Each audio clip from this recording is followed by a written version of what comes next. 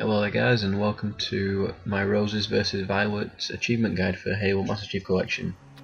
Um, I have fast forwarded this because it took me a while, for some reason it took me a while to kill all the enemies. Um, plus it's a lot easier to show you how to get the achievement.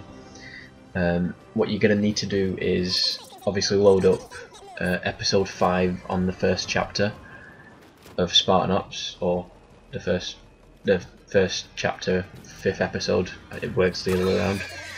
Uh, go ahead and kill all the enemies that you encounter at the beginning, and then just before your first checkpoint, that's where you're gonna get yourself the achievement. Um, just basically kill all the enemies up until the first checkpoint, so that you have no enemies around or anyone to kill. Um, I hope this video helps you. Um, sorry that I'm not talking all the way through it. I'll just let you guys watch it because it's a bit quicker. Um, please let me know if you liked the video, enjoyed it. Uh, if you want to ask anything, feel free to, and I'll get back to you as soon as possible. Uh, thank you for watching, and please subscribe.